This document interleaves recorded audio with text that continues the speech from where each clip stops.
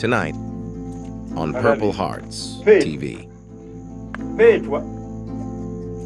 mbulira yakulabya atya yabadde atya? Olaba nze akulabye nensanyukaku kati ate ye.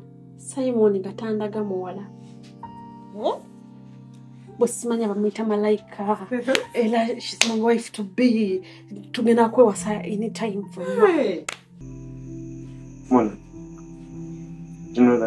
They say that the first cut is always the deepest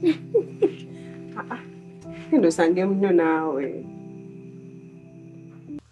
ne mwana wange nkola buli kimu okulaba nga nkusanyusa okulaba nga nkugjamu ekigambo naye toyogera. From childhood simon wange naye obunkanke nga bunjo oli yamuvinga dda.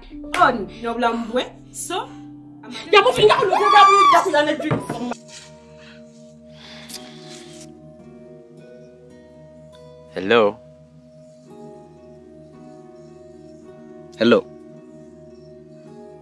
Eh, ono njogerako ne yesu kristo. Eh, omwagala w'abangi ye munange yesu. Naffe gye tuli eno yesu mpolampola obulamu butambula. Ye yesu. Eyi tukumanyi bulungi oyagala nnyo abaana abato yesu. Akubanza akubye siri mwana muto ni mukulu.